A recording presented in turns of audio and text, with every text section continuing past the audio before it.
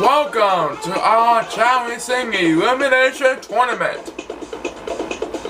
In our last episode of on our Battle of the Sexes special, Carly and her lovely girls outsmarted Jay and the Buff Boys to win $5,000 for each of their charities, and Carly wins $15,000 for her own charity. Can Carly do it again? We'll find out.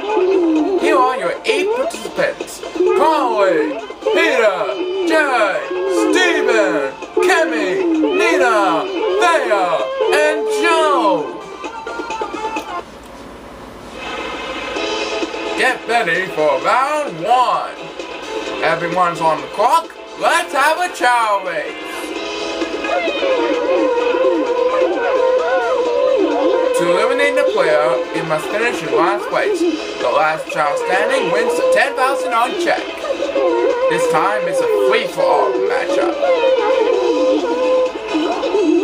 They're pushing the ball like hell.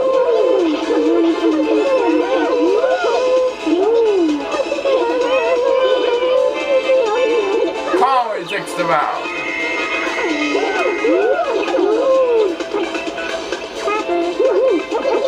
And Peter is gone.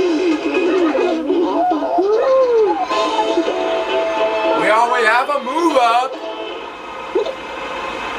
Be right back with round two.